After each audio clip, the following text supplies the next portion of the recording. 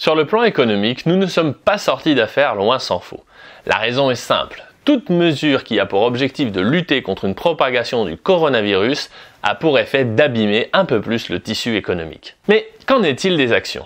Aujourd'hui, prenons un peu de recul sur l'histoire du marché action français pour voir si l'évolution du marché action correspond toujours à la santé économique en France. Les réponses sont surprenantes et je vous propose d'analyser tout ça ensemble. Allez, c'est parti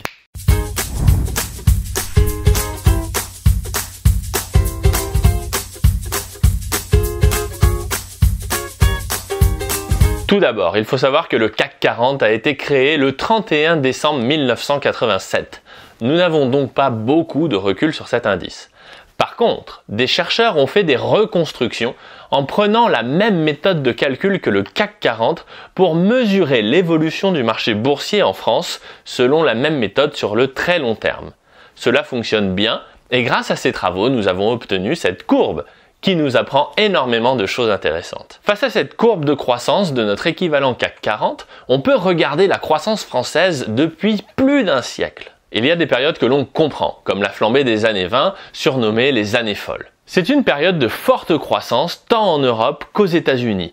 La Première Guerre mondiale a choqué le monde et l'Occident vit une bouffée d'optimisme. Ma psychologue de femme me dirait sûrement que c'est une pulsion de vie sociale. Le problème, c'est que l'économie surchauffe en même temps que le marché s'envole dans une énorme bulle financière. Cette euphorie laissera place à une crise déflationniste d'anthologie bien connue du public, la fameuse crise des années 30. Sur le plan boursier, on comprend très bien cette période car la bourse française s'envole en 1920 pour se cracher durant les années 30. Les marchés suivent l'économie, ce qui semblera logique à tout le monde. Par contre, ce qui est moins intuitif, c'est l'envolée des années 40. Sur le plan économique, la crise des années 30 débouche sur la Seconde Guerre mondiale. Les guerres mondiales étant peu propices au développement économique, on serait tenté de croire que le marché boursier va rentrer en récession en même temps que l'économie. Sur le plan économique, c'est bien ce qui se passe. La France subit une récession terrible de l'ordre à 10 à 20% chaque année.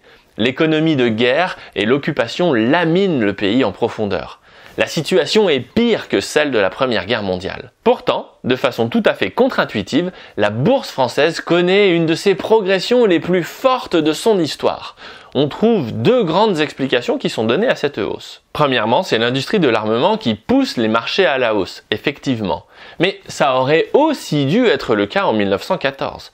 D'autant qu'en 1914, les Allemands n'occupaient pas la France. Deuxième explication, c'est une fuite devant la monnaie les investisseurs se sont précipités sur les marchés actions afin de ne pas être ruinés par la chute de la valeur de la monnaie. Ces explications ne sont pas incohérentes. Le moins que l'on puisse dire, c'est que les deux guerres mondiales du XXe siècle ont été des ruptures de la normalité autrement plus dures que le confinement que nous avons vécu au mois de mars et avril. Mais les surprises de cette analyse ne s'arrêtent pas là. Lorsque l'on regarde la période des Trente Glorieuses, qui par définition a connu une croissance économique très forte, la bourse française a connu une de ses pires périodes. De 1962 à 1978, notre équivalent CAC 40 a été divisé par deux. Surprenant, n'est-ce pas? J'en avais discuté avec Guillaume Rouvier et il m'avait expliqué lors de notre conversation qu'une situation de très forte concurrence et de très forte innovation n'était pas forcément favorable au marché actions dans son ensemble. Durant cette période, les prix étaient sous pression, avec en contrepartie une hausse incroyable du niveau de vie. Quelque part, le nouveau monde chassait le nouveau, et cela ne s'est pas fait dans la paix et l'harmonie sur les marchés financiers. Aux États-Unis, il s'est passé un peu la même chose durant les années 60, avec une forte récession dans la deuxième moitié de cette décennie. Selon Ray Dalio, cette récession était due à une fin de cycle d'endettement et une purge du système monétaire qui s'est conclue par la fin du système de Bretton Woods. Devant un déficit extérieur trop fort, les USA cassent le lien entre l'or et le dollar pour dévaluer le dollar et ne pas pénaliser leur économie. Ce n'est qu'à partir de cette période, pas si lointaine, la fin des années 70, que les marchés connaissent une ascension parabolique avec des cracks ponctuels. Le crack de 1987 était une saine correction pour reconnecter les marchés à la valeur de l'économie, et ce fut la même chose pour la bulle Internet en 2000. Ensuite, il faudra attendre 2008 pour voir une crise d'une nature différente arriver. Ce qui a causé la crise des subprimes, ce n'est pas tant la bulle des marchés qu'une réelle crainte sur la solidité du système financier. Pour en avoir parlé avec Charles Gave, qui l'a vécu de très près, il m'a confié que le monde de la finance avait vraiment eu très peur que le système financier et bancaire y passe à ce moment-là. On peut dire que 2008 fut une crise existentielle au sens littéral. Là où je veux vous emmener aujourd'hui est le point suivant. Puisqu'en 2008, aucun problème de fond sur le système monétaire n'a été sérieusement réglé. Il était logique de penser qu'en 2010, nous aurions droit à une plongée aux abysses des marchés. À cette époque, j'écoutais Olivier Delamarche sur BFM TV et chaque semaine, il nous expliquait avec beaucoup d'intelligence et de chiffres que rien n'était réglé. Pourtant, pendant 10 ans, les marchés actions ont connu des hausses historiques, surtout aux États-Unis. Sur le fond, je pense qu'Olivier a raison.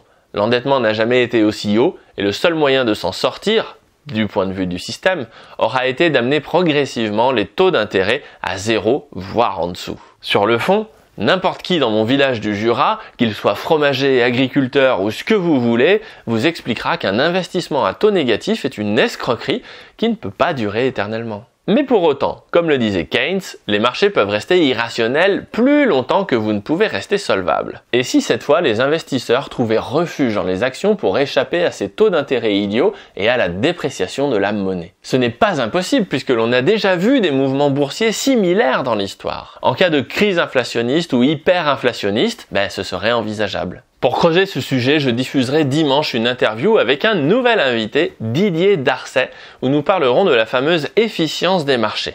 Didier travaille chez Gavcal Intelligence Software avec Charles Gave et c'est ce que l'on appelle un quant. Un quant, c'est un chercheur en finance qui cherche à comprendre le comportement des marchés et c'est quelqu'un de tout à fait brillant, vous allez voir. Donc, même si je penche plutôt pour une rechute des marchés à court terme, c'est vraiment mon scénario de base, que nous n'avons pas fichu ce virus dehors, eh bien, il ne faut pas non plus être arrogant et se moquer de l'étendue de toutes les choses que l'on ignore.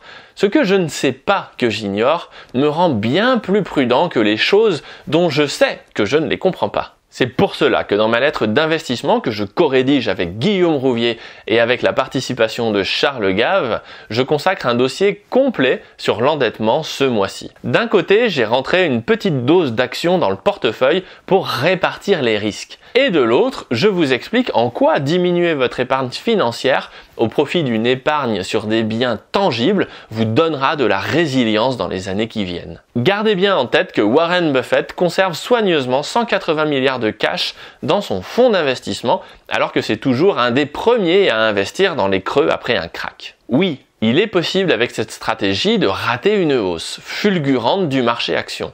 Par contre, mettez bien dans la balance le risque de perdre bien plus si le marché baisse. Si vous souhaitez investir en tout ou partie sur les marchés actions, je vous donne chaque mois des valeurs pour le faire. Si vous souhaitez adopter une stratégie plus conservative, je vous donne également des éléments très précis pour le faire sur les obligations, les métaux précieux, et le cash. Si vous souhaitez vous inscrire à notre lettre d'investissement, vous pouvez cliquer sur la fiche qui apparaît en haut à droite de l'écran ou via les liens en description. C'est également pour ces raisons que je vais bientôt refondre le suivi du portefeuille dans la lettre afin de vous proposer des scénarios d'investissement qui correspondent à vos attentes. Enfin, Petit teasing, je travaille avec Gafcal Intelligence Software sur un bon gros projet pour vous permettre de gérer votre patrimoine. Je vous en reparlerai bientôt.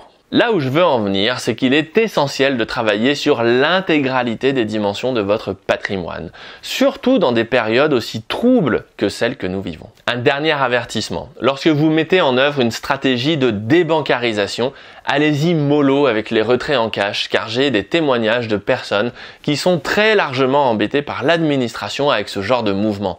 Récemment, un client m'a écrit pour me dire qu'il avait retiré 50 000 euros en cash de ses comptes. Cela n'a pas loupé, sa banque a fait un signalement à la cellule de lutte contre le blanchiment appelée TRACFIN. Depuis, il doit demander l'autorisation pour faire des chèques. Ses conversations avec son conseiller bancaire sont systématiquement enregistrées. Pour faire des opérations bancaires, il faut qu'il en justifie tous les éléments, l'origine, la destination, etc. Gardez bien en tête que le système en place fera tout pour survivre, à vous de ne pas trop vous exposer. Nous ne sommes plus dans un pays libre. J'en veux pour preuve la déclaration de Thierry Breton à Mark Zuckerberg dans une conférence sur Internet en parlant du paiement des impôts. Ce n'est pas parce que ce n'est pas interdit que c'est autorisé. Pourtant, légalement, par définition, ce qui est autorisé se définit par tout ce qui n'est pas interdit. Thierry Breton n'est pas n'importe qui. Il a été directeur de grandes entreprises, il a été ministre et il est commissaire européen aujourd'hui. Il fait partie de ce que j'appelle l'élite d'en bas, qui décline les grandes orientations de ce que j'appelle l'élite d'en haut, ou des hommes de Davos, comme dirait Charles. Alors prenez soin de vous, prenez vos précautions sans pour autant prendre plaisir à provoquer l'administration intentionnellement ou non, faites attention. Sur ce, à bientôt pour de nouvelles vidéos. Ciao si vous aimez mes vidéos, abonnez-vous et pensez bien à cliquer sur la cloche pour être notifié lorsque je publie de nouveaux épisodes.